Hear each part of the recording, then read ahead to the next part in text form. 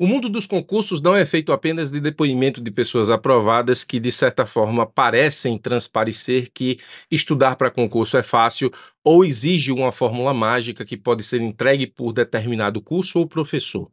O mundo dos embora isso chame muita atenção, o mundo dos concursos não se resume a isso.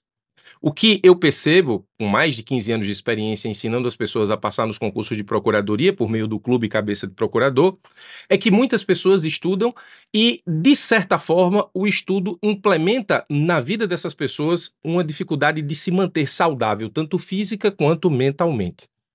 A única forma de você conseguir estudar para concurso sem comprometer a sua saúde física e principalmente a saúde mental é aliviando o estresse que é inerente a estudar para provas de concurso. E aí eu vou te explicar exatamente como isso acontece em termos de ciência e vou te explicar o que você deve fazer para, de certa forma, tentar estudar aliviando o estresse para que você possa se manter saudável tanto física quanto mentalmente.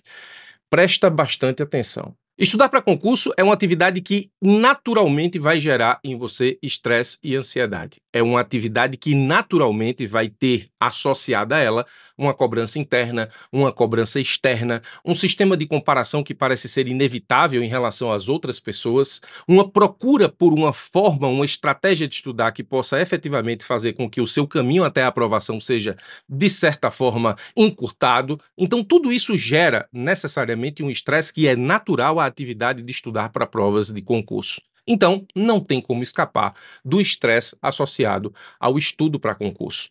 A questão é se você, nesse caso, está com o pé no acelerador e fazendo com que esse estresse seja cada vez mais alto e crônico, ou se você está com o pé no freio, se você sabe identificar exatamente os momentos em que a sua atividade de estudar está gerando um estresse muitas vezes desnecessário, ou seja, além do natural, e se você sabe efetivamente retirar da sua estratégia tudo aquilo que pode atrapalhar o seu estudo para concurso no que diz respeito à ideia de ter saúde física e mental para continuar nesse projeto até passar.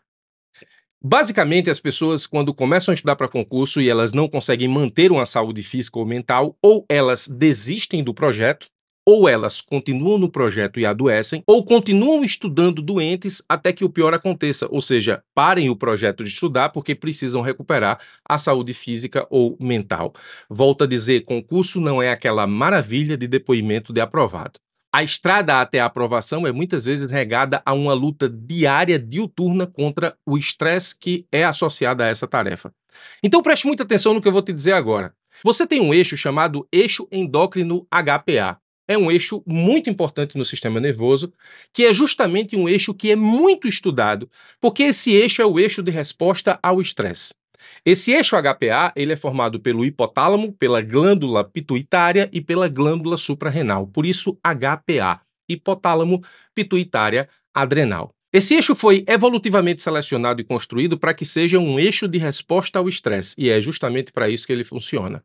Então, o estresse ele funciona de duas formas. Primeiro, você pode ter um pico de estresse, e aí no pico de estresse nós temos exatamente a demonstração de como funciona o eixo HPA. Imagine, por exemplo, que o seu ancestral primata saiu para caçar e deu de cara com um leão. Existem dois comportamentos que esse primata pode ter.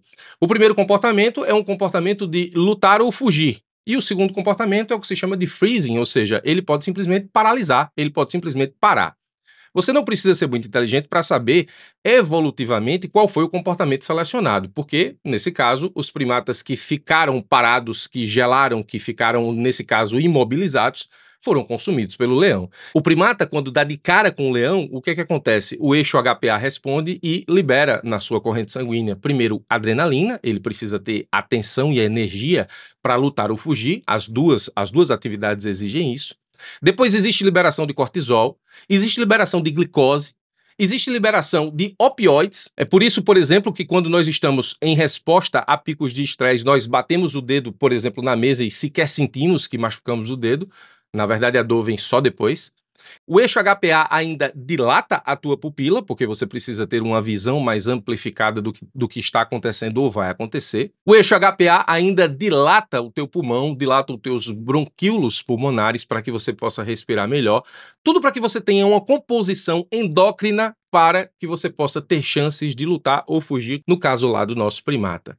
Esse pico de estresse acontece hoje de outras formas. A gente não vai dar de cara com um leão e ter um pico de estresse, mas uma fechada no trânsito pode despertar o meu eixo HPA para que ele tenha essas respostas do mesmo jeito que acontece nesse caso lá com o primata evolutivamente considerado lá atrás. Então, uma fechada no trânsito pode ativar o teu eixo HPA, em termos de pico de estresse, mas você também pode ter uma ativação do eixo HPA, não com a mesma intensidade do pico de estresse, numa intensidade menor, mais constante, no que se chama de estresse crônico. Uma das questões mais interessantes que nós temos na análise do eixo HPA no que diz respeito à resposta ao estresse é que esse pico de estresse pode se dar por um perigo real ou imaginário. Ou seja, o seu eixo HPA, ele responde da mesma forma se você ver o leão definitivamente e esse eixo é igualmente ativado se você imaginar que esse leão existe, embora ele não exista. Isso é uma das coisas bastante interessantes e, de certa forma, o eixo HPA é um dos mais estudados no que diz respeito à resposta e ao controle do estresse. Até agora falei sobre o pico de estresse, mas existe um outro tipo de estresse que não ativa o teu eixo HPA com a mesma intensidade do pico, mas ativa o teu eixo HPA numa intensidade menor, mais constante. Porque o nosso ancestral primata, no momento em que ele fugia ou lutava com o leão, passado o episódio de luta ou fuga, o eixo HPA ele deixa de ser ativado e aí nós temos uma volta à normalidade no que diz respeito a tudo aquilo que o eixo HPA ativou. Aí é quando você começa a sentir aquele dedo que você machucou no pé da mesa, no pico de estresse, que você não sentiu por conta do opioide que foi liberado pelo eixo HPA em resposta a um pico de estresse. No estresse crônico, nós não temos essa desativação do eixo HPA. O eixo HPA ele está sendo constantemente ativado, mas numa intensidade menor em relação ao pico de estresse.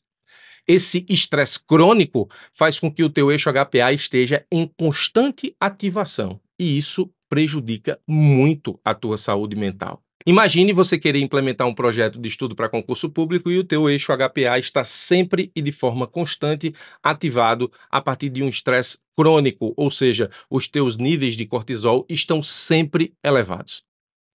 Isso adoece mentalmente qualquer um. E aí, estudar para concurso é uma atividade estressante por natureza.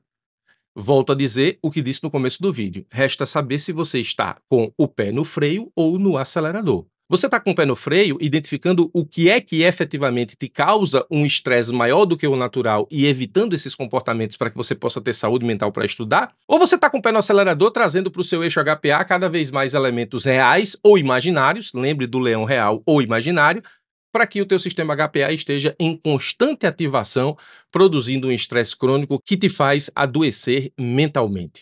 Qual é a sua posição nessa questão? E aí existem dois tipos de concurseiro.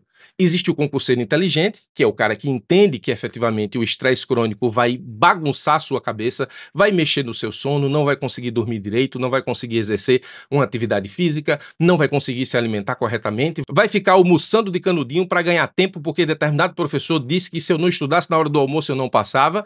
O concurseiro inteligente identifica tudo isso e retira tudo isso da sua preparação e existe aquele concurseiro que vai pela cabeça de professor A, B ou C, de curso A, B ou C, de depoimento A, B ou C, e entra efetivamente num círculo vicioso de estudo doentio no que diz respeito à ativação constante do sistema HPA, fazendo exatamente tudo aquilo que não deveria fazer. Estudando por edital e aí ativando o teu sistema HPA com todo o estresse que é gerado pela situação de estudar sempre com edital para cumprir, com a prova marcada, Existe o concurseiro que vive ativando o eixo HPA justamente porque gosta de ficar se comparando com A, com B, com C, quando na verdade o sapato que cabe no pé dele não cabe no pé dos outros. Existe concurseiro que ativa eixo HPA apostando em material mirabolante porque ouviu dizer que aquele material foi responsável pela aprovação de A, B ou C. Existe concurseiro que gosta de estudar de forma desorganizada, talvez porque isso seja uma desculpa para não aprovação. O problema é que isso vive ativando o eixo HPA dele e os seus níveis de cortisol são sempre altos no que diz respeito à instalação de um estresse crônico. Volto a dizer, estudar para concurso tem um estresse associado. A questão é saber se você está com o pé no freio ou com o pé no acelerador. Pare de estudar no modo desespero. O modo desespero, que eu denomino efetivamente os estudantes, os concurseiros que implementam uma estratégia que é justamente essa, principalmente essa que eu acabei de falar, embora existam aí outros fatores. Estudar no modo desespero é estudar sem organização, é estudar sem um planejamento, é estudar sem uma estratégia, é estudar de edital em edital, é estudar de reta final, é estudar comprando material que, sob a promessa de que esse material é responsável pela sua aprovação. Isso é o modo desespero. Esse modo desespero vai fazer com que você adoeça, ou vai fazer com que você estude adoecendo e deixe a preparação porque você vai precisar recobrar a sua saúde física ou mental. Pare de estudar no modo desespero. Pare de ativar o seu eixo HPA quando o assunto é concurso público. Sabe por quê? Porque existem outros fatores na vida para ativar o seu eixo HPA, não é só concurso.